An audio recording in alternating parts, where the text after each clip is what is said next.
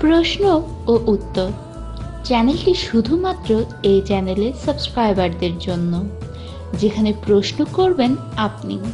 উত্তর দেবে আমাদের অভিজ্ঞ এক্সপার্টগণ।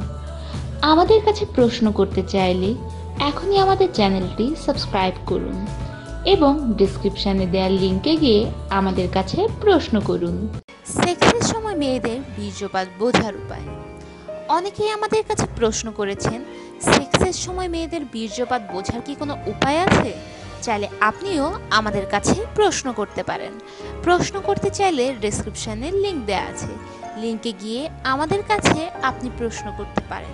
আমরা চেষ্টা করব আপনার প্রশ্নের উত্তর দিতে।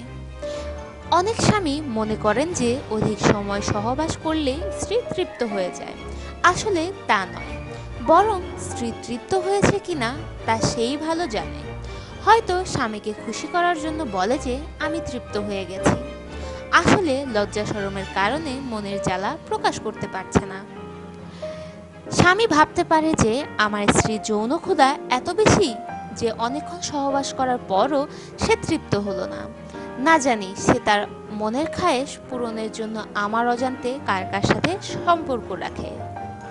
এরূপ ধারণা আসতে পারে, ভেবে স্ত্রী তার স্বামীকে বলে, আমার বীর্যস্থলন হয়েছে। আসলে তার বীর্যস্থলন এখনও হয়নি। সহবাসে তারা স্ত্রী তৃপ্ত হলো কিনা তা জানার অনেক উপায় রয়েছে।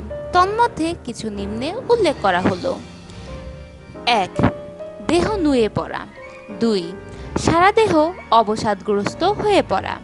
তিন, দ্রুত হৃদস্পন্দন হতে থাকা। চার আবেশে চোখ বুজে থাকা। পাঁচ, জনি থেকে রসস্রাব নির্গত হওয়া।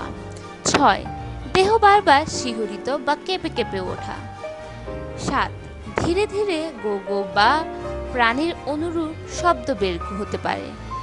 আট, পূর্ণতৃপ্তির আবেশে অজ্ঞানের মতো হওয়ার সম্ভাবনাও রয়েছে। নয়, স্বামীকে জোর করে বুকে চেপেও ধরে রাখতে পারে। আমাদের সমস্ত আপডেট পেতে এখনই চ্যানেলটি সাবস্ক্রাইব করুন। প্রশ্ন থাকলে কমেন্ট করুন, ভালো লাগলে লাইক ও শেয়ার করুন। ধন্যবাদ।